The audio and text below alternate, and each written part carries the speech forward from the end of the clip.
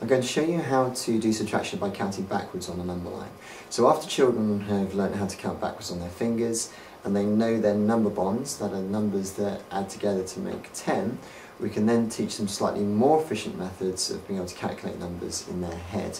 And this is where the number line becomes useful. And we're going to take this as an example.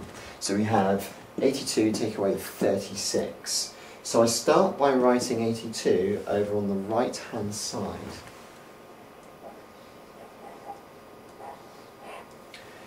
Because I'm going to be subtracting, I'm going to be taking away. And we want to keep the numbers in the order that the children are used to. In other words, the smaller numbers are usually on the left and we want them used to counting on to bigger numbers on the right. So when we're counting backwards, we have the bigger number on the right, we count backwards to smaller numbers on the left. So I'm starting with 82, I then draw my number line.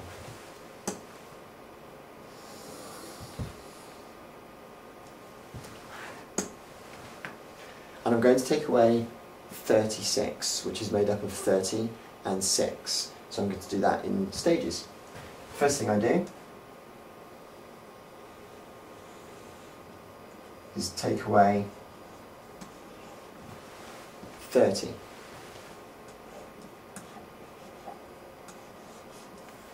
Which gives me 52. Here my number bond knowledge is useful because I'm now going to take away 6 but rather than count backwards on my fingers, I can do this much more quickly in my head in two stages. I can start by taking away 2,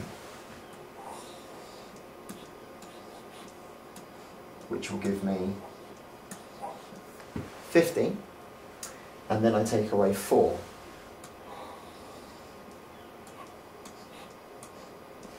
And again, my knowledge number bonds tell me that 4 goes with 6 to make 10.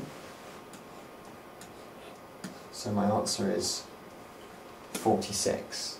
Okay, because 50 take away 4 leave me with a 6 in the units column. I know that because I've learnt my number bonds. Okay, and the answer is 46.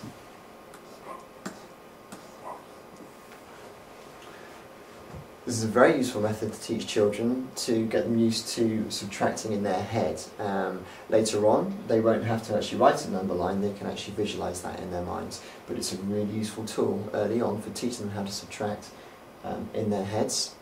We tend to teach them how to count backwards first. Okay, there's another method where you can subtract by counting on, which I'm going to show you next, in the next clip. But we tend to count backwards first because that makes more sense to the children. They get used to the fact that subtraction is taking away, okay, taking numbers away and counting backwards. So that's how you use a number line to subtract by counting back.